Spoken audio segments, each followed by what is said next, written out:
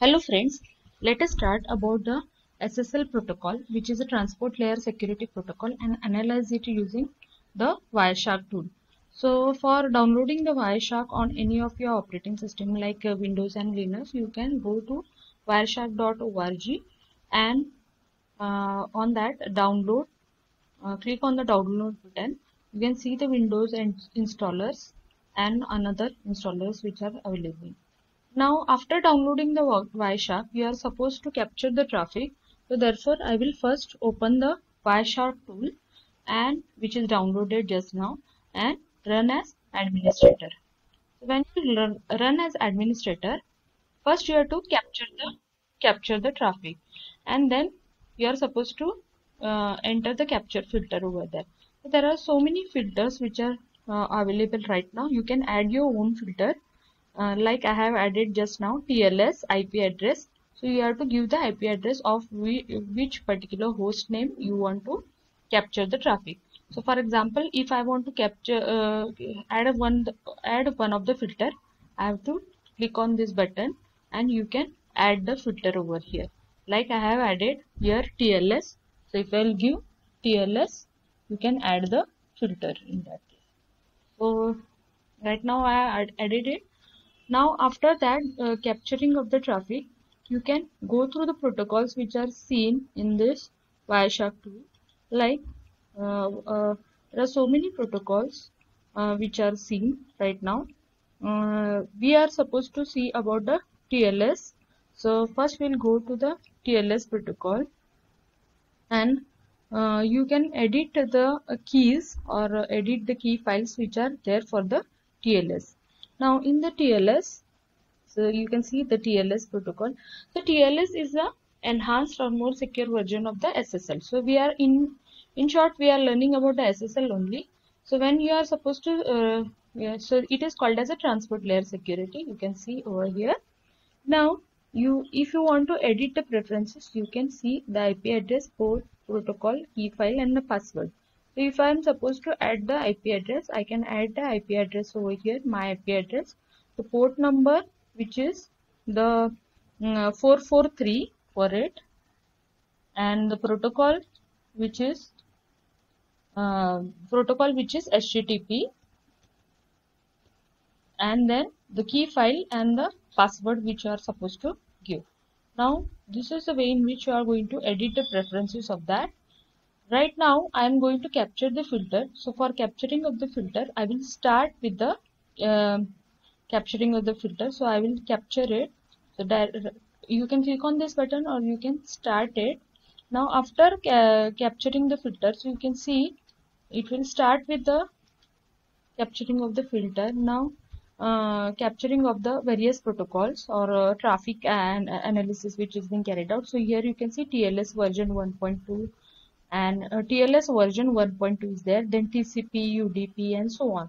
So these all particular are the protocols which are being captured by the traffic in the destination so from the source to the destination which are there.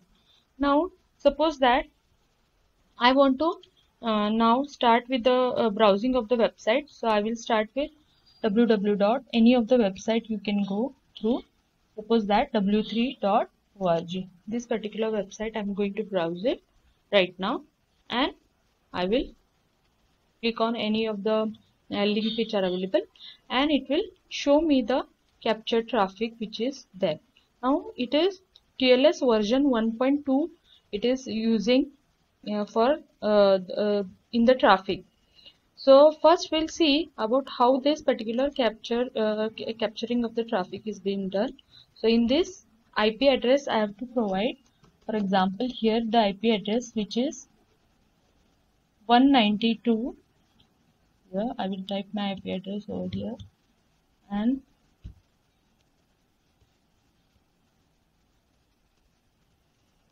it will start on to showing the particular um, capture traffic and the TLS TLS version of it so when you will type TLS in this filter and you will uh, press enter button, you can see the protocol which is TLS version 1.2 which is uh, seen in the window.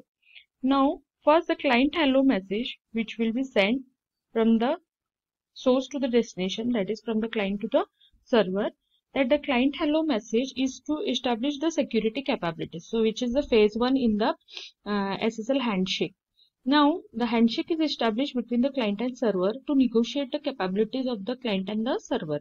So there they will mutually agree upon the uh, cipher suit which is there. So cipher suit is nothing but a set of the cryptographic algorithms.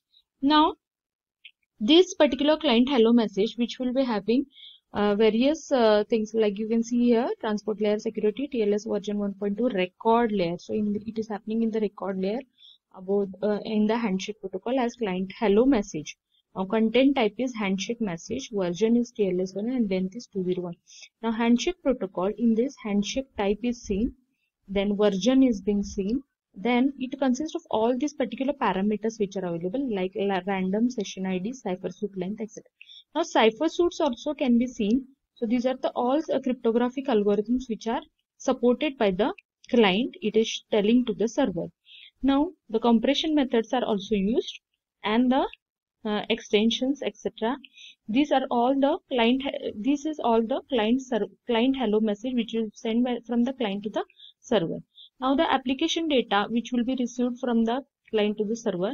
Now after that um, there will be a message which will be called as a server hello message. Now the server hello message this is also happening in the phase 1 wherein the server will say hello to the client. Now initially client has said send the client hello message to the server. Now server will send it to the client. Now it consists of server hello certificate, certificate sta status and uh, server key exchange. All this uh, message consists of. Now you can see over here, this is a handshake protocol, server key exchange, server key exchange which is shown over there. Then it is using EC Diffie-Hellman uh, server parameters. Now you can see go through these parameters also which are there. Signature algorithm and signature which are being used. The public key length is being specified. And it is a handshake protocol which is using server hello done. Now server hello is completed over here. So that is establishing of the security capabilities is over when the server hello will be sending. Now server will also send his own certificate. Server may send his certificate and the key exchange over there. Right now it is sending the uh, key server key exchange. After the server certificate and the server key exchange is being done and server hello is completed now client key exchange will be carried out. So now what is client key exchange? That is client sends the certificate if it is requested by the server. Now client sends the key exchange. Client may also send the certificate verification. So client key exchange and change cipher spec this particular message is very important. Wherein the negotiation of the cipher suit which will be carried out and encrypted hand, handshake message which will be sent in the version. Now you can see here in this case again change cipher spec the content type. There are three particular fields in that. Content type version and the length. And the change cipher spec message. Encrypted message will, will be also having content type version and the length. And encrypted handshake message. So this is all about the tls version uh, third phase which is there. So there are total four phases in this. That is phase one is client hello server hello. Phase two is server send his own server send his own certificate and key exchange and request the certificate of the client now client will do the client uh, key exchange and change cipher spec and the and send the encrypted handshake message. After that, the change fourth phase is nothing but the change cipher suit is being carried out. That is why change cipher spec message is being used over there. So now this change uh, change cipher spec it is nothing but changing of the cipher suit and finish the handshake protocol. So this is the completion of the handshake protocol which is there. Now encrypted handshake message and the change cipher spec message this is being sent by the client to the server and server in turn will be sending it to the uh, client over there. This is uh, all about the handshake protocol. I hope that you have understood the handshake protocol using the Wireshark and how to capture the traffic of the SSL protocol using Wireshark. Thank you.